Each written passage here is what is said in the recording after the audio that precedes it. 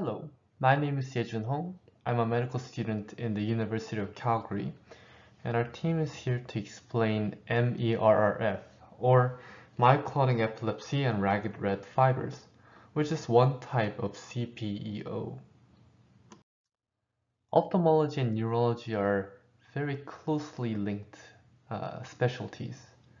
The eye is a sensory organ responsible for perceiving light and it is directly linked to the nervous system.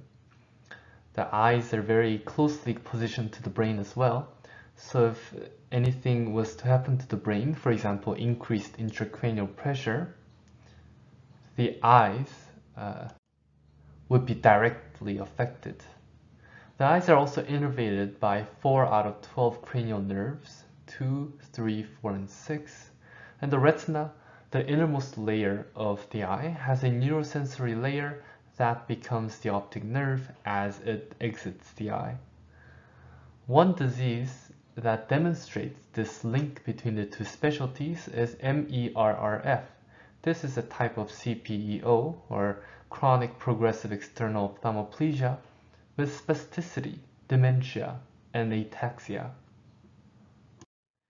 So as, as we've said, MERRF is CPEO with mitochondrial DNA disorder.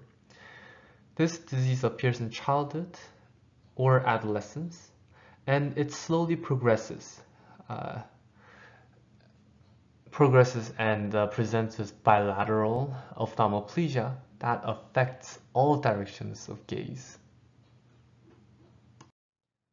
More than 80% of this disease is caused by mutations in the MTTK gene in the mitochondria.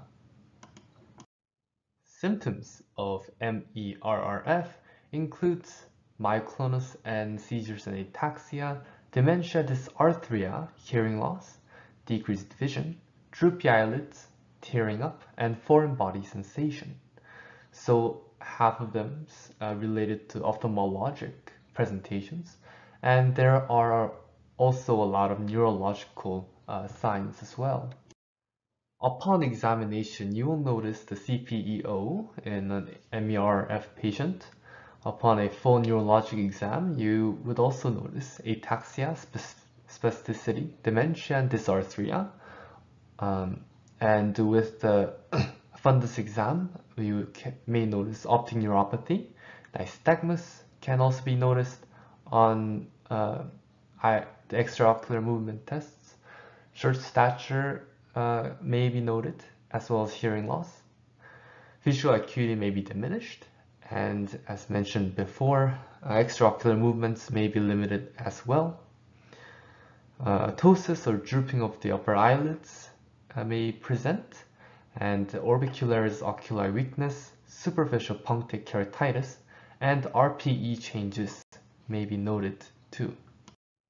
Differential diagnosis includes the up gaze and down gaze palsies, progressive supranuclear palsies for uh, patients with Parkinsonism uh, symptoms, dorsal midbrain syndrome, and myasthenia gravis.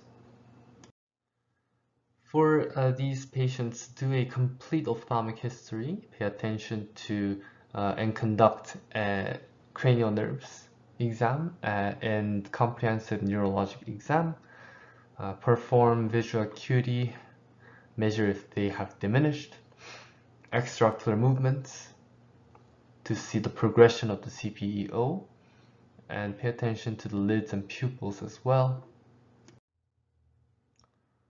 Lab orders may include mitochondrial DNA analysis from the blood samples, muscle biopsy from the the deltoid, and abnormal ragged red muscle fibers or electromyography would verify that uh, the patient has MERRF.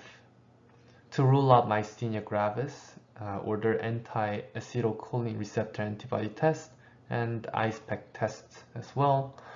Uh, we can do a lumbar puncture if CNS processes are suspected. Treatment of MERRF is basically topical lubrication and This uses artificial tears every hour and ointment before going to bed. These are to prevent exposure keratopathy. For severe ptosis that uh, significantly affects everyday functions, we could consider surgery to eliminate ptosis as well. So this is a summary of everything we talked about in myoclonic epilepsy and ragged red fibers. And here is the reference from which we pulled the information necessary for this presentation. Thank you for watching this video.